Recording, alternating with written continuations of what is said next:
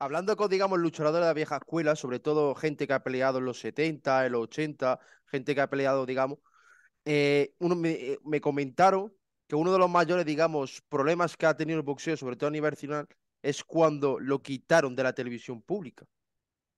Claro, es Porque que esa es la clave. Cuando dejaron de, Sí. te- de televisarlo, esos grandes combates de campeonato de España, eh, defensa de título y demás, fue cuando realmente el boxeo empezó a morir a nivel nacional. Claro, es que ahí es donde muere. Si no lo conoces, si hoy, hoy por hoy no te conoce nadie, hasta muerto. ¿Qué es lo que pasa? Que la gente, hoy en día sí tenemos una oportunidad, que son las redes sociales, que es lo que estás haciendo tú y muchos como tú, que, que, que promueven, gracias a Dios, gratuitamente incluso esto. Entonces, eso es un, un, un trampolín que nos puede hacer a todos, a todos crecer, desde el gimnasio más chico al profesional más grande pero la tele todavía le va a costar mucho trabajo, ¿eh? No, yo creo que no. Ellos están cerrados y mucha parte también la tenemos nosotros, ¿eh? Que le vendemos eh, lo que no es.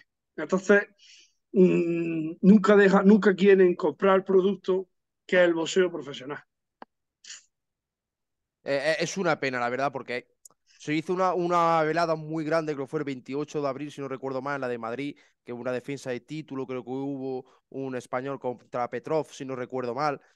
Fue un velador en Madrid impresionante y, ese, y esa velada no se retransmitió. Es como, realmente o vas y pagas la entrada y ves la velada o te quedas sin verla porque nadie la, la retransmite. Entonces, esos grandes combates de defensa de título, de campeones de España, es una pena de que nadie, digamos, haga. Y yo mi intención, obviamente, es intentar hacer un tour, grabar todas las veladas, todos los combates que haya. Intentar subirlo para que eso, digamos, no se quede en olvido. Pero es una pena, la verdad, es que esos grandes combates, esos grandes... Un luchador profesional que tenga 50 combates profesionales y que todavía no se pueda ganar la vida con esto. Es una pena. Eh, es vergonzoso. Es vergonzoso que una persona que se está jugando el físico, que tiene una dedicación que no lo sabe nadie, un boxeador profesional tiene una dedicación o debería de tener una dedicación impresionante, que no puede trabajar en otra cosa, que luego llegue y no pueda vivir de esto es vergonzoso. Es vergonzoso porque es que no, luego llega, sube a Londres, por ejemplo, y es que se nota. Gente que vive de eso, es imposible igualarte con ellos, imposible, porque ellos se dedican a eso y cobran de eso. Aquí, por muy bueno que sea, le, va a costar mucho, mucho, mucho, mucho trabajo al profesional llegar a esos niveles. Así, así conozco, vamos, yo de los que conozco en Granada, Fran, que trabaja en su furgoneta, todos trabajan, John, en su carpintería, Jane, Azde, Azde, Samá, tiene que dejar el trabajo y jugársela para aprovechar su tramo de, de boxeo. Todos vienen de Hispavox y demás. Entonces, eh, eso no, no puede ser, no puede ser. Esa gente tiene que tener alguna ayuda, algún tipo de ayuda en su carrera deportiva, porque si no, no, no hay manera. Y también eso suma a que luego la televisión no quiera comprarlo, porque no hay, no se ve rendimiento. Es muy complicado sacar un rendimiento así. Es muy difícil. Como entrenador, ¿cuál crees que son las cualidades para un profesional? Cuando tú ves entrar un muchacho que tú sepas y dices, este, este vale para yo subir a un ring. ¿Cuál crees que son las cualidades para un luchador? Para mí, tanto física como técnica, eso tiene que ser innato. Y luego trabajar sobre todo. O sea, hay gente que no, no tiene una técnica de duradísima o el físico sí tienes que tenerlo. Pero tienes que tener una mentalidad para ser profesionalidad, perdón, profesional. Tienes que tener una mentalidad de, de- de hierro, no. Lo siguiente, el siguiente meta es más fuerte que haya. Porque si no, es imposible. Profesional es, es- es otro mundo. La gente no, eh, yo lo comparo siempre fútbol, fútbol sala. El amateur puede ser muy bueno amateur, pero si tú no te la adaptación, la adaptación al profesional, sobre todo mental, eh, es durísima. Ya los guantecillos chicos pican, ya los golpes no son toco y me voy, ya, ya se va con, con mala leche. Entonces, la- sobre todo, trabajo y disciplina y mentalidad. Una preguntilla más y acabamos, Manuel. A que quieran. ¿Cómo te ves de aquí a un futuro? ¿Cuál es tu objetivo actualmente con el gimnasio que tienes abierto, que tienes estos compañeros, que estáis entrenando con tus chavales? Digamos, ¿cuál es tu objetivo a a este año? Mira, no- nuestro objetivo básicamente es disfrutar de esto, porque nosotros los dos trabajamos en otra cosa y esto lo hacemos casi por amor y por gusto.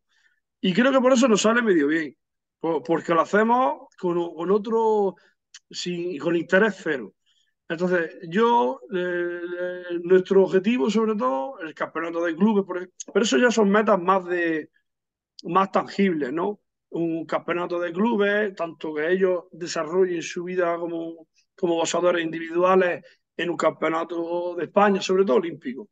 Y si no saliera un profesional, pues también tirarle al profesional y intentarlo, ¿por qué no? Ya que has sacado el tema de Olímpico, eh, también hay una controversia muy grande de que, digamos, que la, digamos, la selección eh, eh, española de boxeo compita a nivel nacional. Un campeonato de España, un campeonato de Andalucía y demás.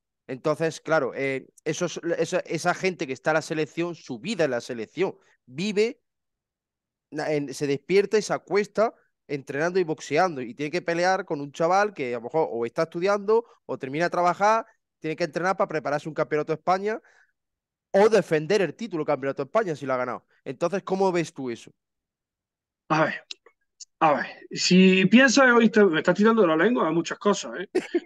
Si quieres la, si Sí, quieres la yo, Yo, yo eh, contesto yo, todo. eh, yo con todo esto, sobre todo lo que quiero hacer, aparte de que no quiero que se ofenda a nadie, obviamente, No, es, es sacar, digamos, los problemas, los beneficios y, y llegar a un punto de acuerdo, sobre todo a nivel boxeo, a nivel nacional. Para que la gente sepa, porque he preguntado sobre todo a, a grandes entrenadores que llevan mucho tiempo qué es montar una velada, cuánto cuesta montar una velada, para que la gente sepa que una velada medio en condiciones son 20.000 euros. Esos 20.000 euros no salen del aire. del bolsillo del tío. Entonces, la, eh, y, y me cuentan, digamos, todos esos problemas que hay dentro del boxeo, digamos, y uno de Sí. ellos, que nos puede gustar más, nos puede gustar menos, pero que la- esa selección española que mm, se despierta y se acuesta entrenando boxeo, a, se tiene que enfrentar a un chaval que trabaja ocho horas de camarero y el, y el, tiempo que tiene de descanso lo usa para entrenar, para prepararse un campeonato de España, esa disciplina, pues no es la misma. Juega en desventaja. Eso sí es cierto. Juega en desventaja es lo mismo que hemos hablado antes del pro inglés. Vámonos a ingleses que son nuestro siguiente escalón. El pro inglés como el pro español. Pues nosotros jugamos en desventaja con, con los miembros de la selección. Ahora bien, es verdad que quitan oportunidades que algunos críos los lo puedes desilusionar. Porque eh, no- nos pasa a nosotros, es que lo tengo ahora ese problema. Entonces, eh, eh, tienes críos que pueden pueden dejarle, eh, si el boxeador de la selección a lo mejor, si está haciendo 30, 40 peleas, déjale unas peleillas a estos, que vayan saliendo, y así tienes tu cantera, y así puedes que el, de la selección no se duerma, viendo a un crío de, de 60 kilos que dice, ostras, ese, ese niño aprieta, ¿eh? A la vez también, también te digo, gánale, apriétale más, ya está. Entrena más fuerte que es. Los entrenamientos aprovecha los mejor. Y lúcete cuando estés peleando con él, es tu oportunidad. Entonces, también lo puedes ver así, que es tu oportunidad para dar un salto y para que te vean un escaparate. Porque al final él lo está viendo el entrenador, lo está viendo el seleccionador, incluso el presidente. Pues esa es la oportunidad que tiene de. Yo intento sacarle el lado bueno. También te digo el lado negativo porque lo tiene, pues, las oportunidades. Pero el lado bueno es ese, que tiene, y además está haciendo una pelea de calidad, que a lo mejor no la tiene otra oportunidad buscando peleas así, es la oportunidad porque te toca, te ha tocado y es lo que hay. Así que por ahí, pues, le ganas y ya está. Siempre hay que ganarle, siempre. Siempre hay que ganarle. Pues lo dicho, Manuel, no quiero tirarte más de la lengua. No, hombre, puedes, puedes, puedes.